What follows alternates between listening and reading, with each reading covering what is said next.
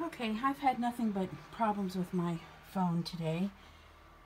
Uh, but I'm not going to let it bother me. I've shared with you as much as I can, and I just, I just don't even know what to think about this Samuel Jackson phone. But uh, anyway, look at the progress I've made. So when I started, you couldn't even cross the threshold. So now look at this. Here's a path. Things are organized back here. Big improvement back there. I've got a whole stack. There was a stack of tubs and things here at the front. All of that is gone. And, and yeah, some of it is right here, but not all of it. Most of it has been put somewhere else.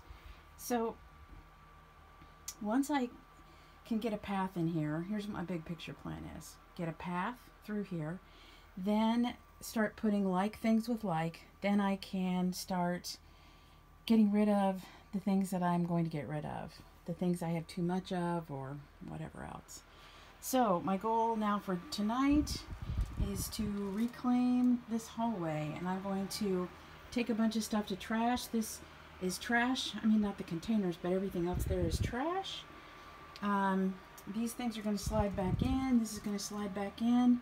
And um, I will have my hallway back. All right, so I don't know if I can get out of the room to show you the view in. It's tough climbing over this stuff all the time, but anyway, there you go.